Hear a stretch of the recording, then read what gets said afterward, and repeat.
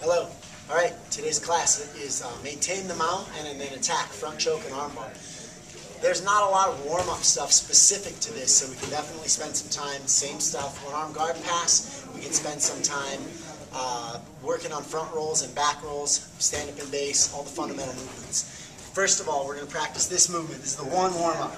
Nice wide. Imagine I'm mounted. Plant my hands here. I'm going to hop up to my feet, back down.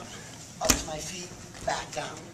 Up to my feet, down. So they learn to post off the floor to make it happen. Now, keep that in mind. We're mounted on the guy. Okay? First of all, every time I mount, I'm going to try to bring my knees between his elbows and his ribs like this. If he allows me, this is how I want to be.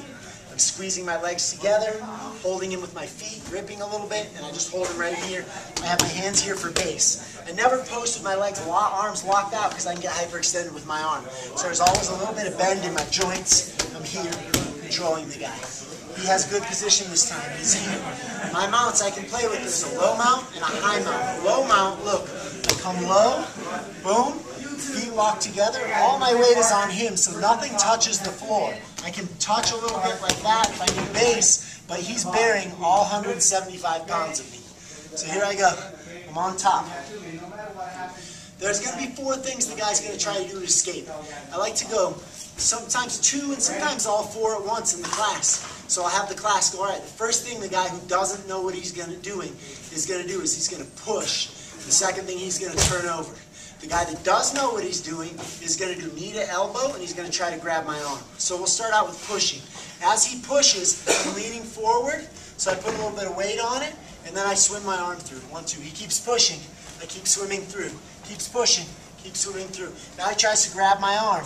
My arm, watch, I don't set it close to him because he can grab it too easily right there. Right? If I put it on him, same thing. He grabs it, he's got it trapped. So I put it away from him and bent. So as he grabs, I have plenty of time to pull it out. He goes on the other side, pull it out, pull it out, pull it out. It should just be nice and smooth, just like that.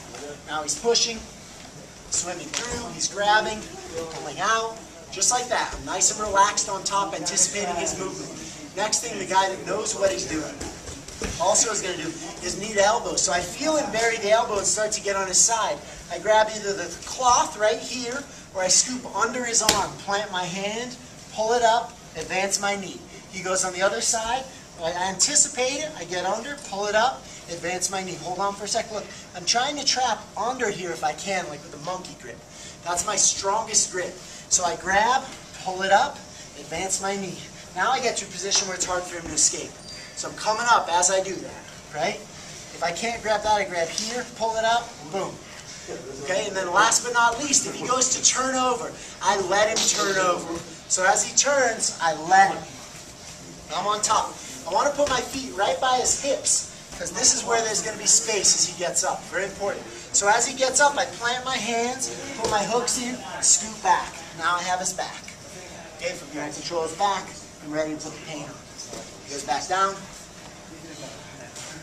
So once they get a quick couple seconds to try it, I like to call it out.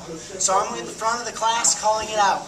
And I go, okay, everybody on bottom, you're pushing. You're pushing. Keep pushing. Keep pushing. Great. Now you're grabbing their arm. You're pulling it out. Grabbing my arm. Grabbing the arm. Grabbing the arm. Okay, good. Now you're a knee to elbow, so bury that elbow. Up, pull it up. Up, I pull it up. Pull it up. And now he turns over. Let him turn. Spatulas up, up. There I get my position. Those are our basic defenses. Now we're going to look at our two offenses. Back here. So here we go. Now, my offenses. Once I've maintained a good position, I've controlled my position. I'm going to work to get a hand in on his lapel. Palm up, right here. Boom. Get my grip. Right there, I can put some pressure. My elbow goes down, so it's difficult for him to slide his left hand under my arm. I don't want that to happen. I want to trap right here. Boom. Or his right hand under my arm. That's the way it should have been. There. Okay, I want to bury right there, so I close off that hole. Boom. Nice and heavy. Low. I can put my legs a little wide. From here, I'm going to reach with my left hand, look like this, over to this side. Now, if he follows me with this arm, I'm going to advance my knee. Boom. There. So I turn the corner. Okay. Let's turn a little bit. Advance my knee. Now my right leg comes over like this, I lean in so I'm on top of him, push my hips forward. I can grab his arm, put my leg over. Now I sit. There's my arm bar. One more time. Here I am. As I reach, he follows me. Advance my knee. Fold my leg over. Lean forward. Head to the side to get my other leg over his head. Lay back. There's my arm bar. Now, this is how I've been teaching the choke. It's a little bit more advanced. Here we go, I'm right here. As I reach with my left hand, he's gonna not gonna follow it because he's afraid to get armbarred. So I come right here, I plant my hand on the floor. Without smashing his head too much, I'm just gonna steer it to the side to open up the neck to get my thumb in. So I go right here, steer, take my thumb, bop, I stick it in right here and I hold. Now I'm gonna come up, bop, I'm on his neck. I put my head down, and I choke.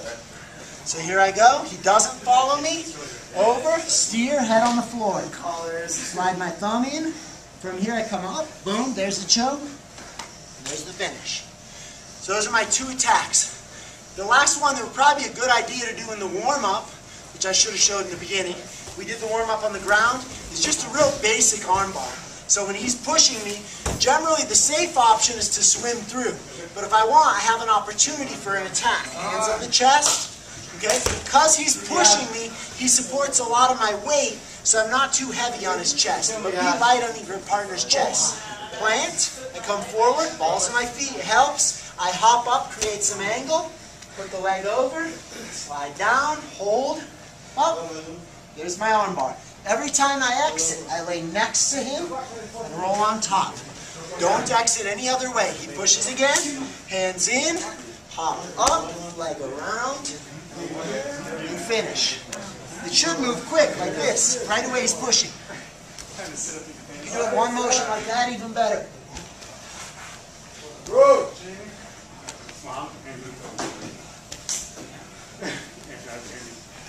As you get better at it, it'll be tighter and tighter on your opponent.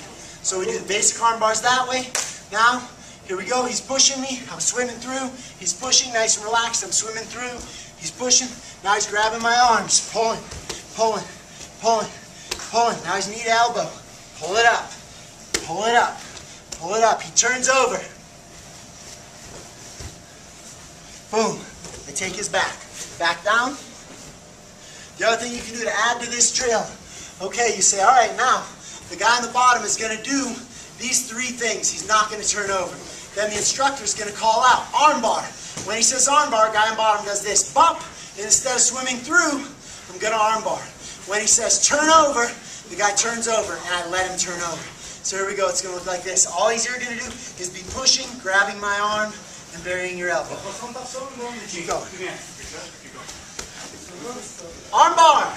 So when I say armbar, he pushes and boom. I take the arm. Back to the mount.